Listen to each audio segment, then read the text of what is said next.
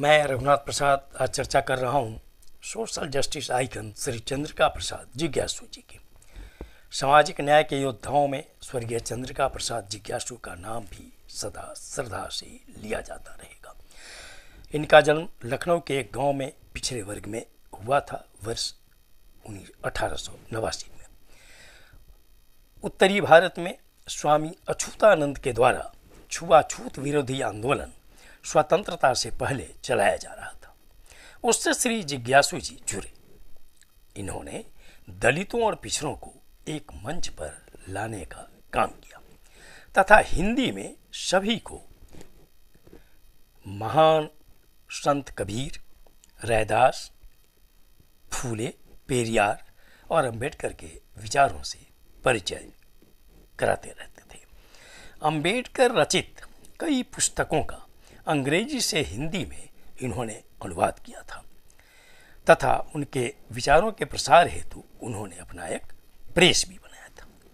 ये कमज़ोर पिछड़ी जाति से आते थे। इन्होंने हिंदू आंदोलन में बहुत यात्राएँ भी की थी, आदि हिंदू आंदोलन। में तथा छुआछूत का इन्होंने दंश भी झेला था और देखा था। इस आंदोलन से कई अन्य पिछड़े समाज के नेता भी जुड़े थे, जैसे श्री शिवदयाल सिंह चौरसिया, श्री रामचरण निषाद, श्री चौधरी श्यामलाल धोवी इत्यादि। डॉक्टर अंबेडकर द्वारा गठित डिफरेंट डिप्रेस्ड क्लास फेडरेशन से ये जुड़े तथा संगठन के पदाधिकारी भी रहे। इनका महत्वपूर्ण संगठन हिंदू समाज सुधार था, जिसके द्वारा छुआछूत के विरुद्ध जन जागरण का कार्य किया गया। ये बौद्ध धर्म से काफ़ी प्रभावित थे। इन्होंने अपना जन जागरण कार्यक्रम लगभग 40 वर्षों तक चलाया और लगभग 100 पुस्तकों की रचना इन्होंने की।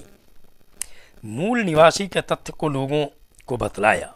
इन्होंने पूना पैक्ट के बाद कुछ लोगों के साथ गांधी जी से मुलाकात कर पिछड़ों और दलितों के हित की बातों को भी इन्होंने रखा था।